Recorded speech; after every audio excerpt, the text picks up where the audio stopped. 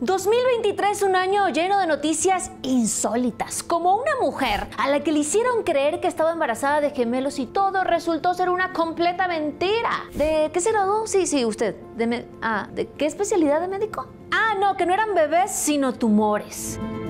Aquí en México pasa de todo. En este país los osos llegan puntual a la hora de la comida.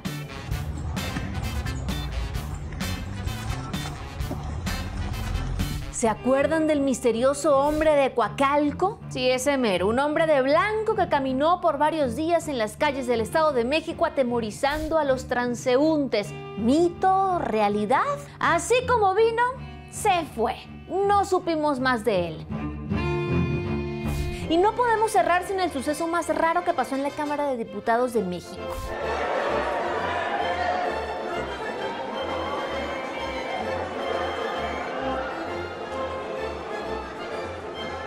No, no, eso ya no es insólito, pero sí la presentación de dos supuestos extraterrestres. Fenómeno anómalo no identificado. A ver, ¿y si usamos huesos animales, huesos humanos, algas y las pegamos con goma sintética? Y así creamos un extraterrestre.